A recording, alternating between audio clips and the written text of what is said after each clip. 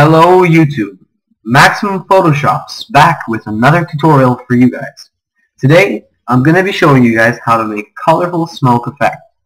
But before we get started on the tutorial, I have to let you guys know that you're going to need some smoke brushes.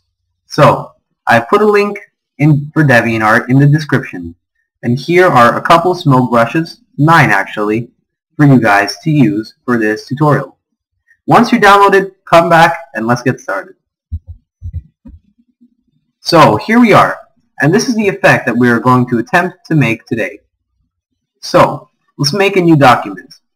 For the purpose of this tutorial, I'm going to make it 1366 pixels wide and 768 pixels tall, a resolution of 72 pixels per inch, and regular 8-bit RGB color, and background contents of white.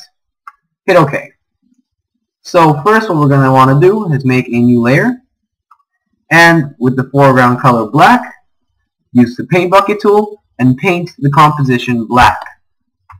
Now what we're going to do is once you have your installed brushes, we're going to go here make the foreground color white, and we're going to start painting our smoke onto our composition with the brushes that you have downloaded. That looks a little blurry, so I'm just going to make the size a little bit smaller at around 764 and we'll just paint that.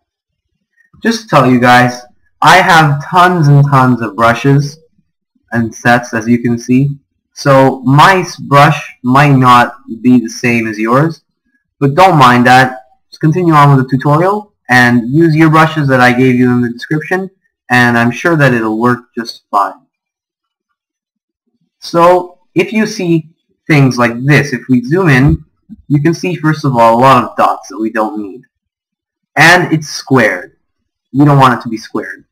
So what you can do is take the brush tool go back to the standard circle, get the foreground color to black, size down, and paint over in black the things that you don't want. Keep in mind that we don't have a layer mask on. This is simply black and white painting. So I don't want this thing here. Let's take that out. And that looks okay. Oh, there's a little more. Keep in mind that I'm not doing it very accurately. This is just to show you guys a quick way on how to do it. Next, we'll get this layer to be non-visible. Sorry about that, guys. I'm a little sick. And we'll make a new layer. Now, we'll take the gradient tool and we'll make the gradient this nice rainbow color. It should be in your presets right there. Hit OK once you have that. Now, while holding shift, drag it across your composition and you should have this cool looking rainbow gradient. Now get the layer visible of smoke and the last thing we're going to do is change the layer styles.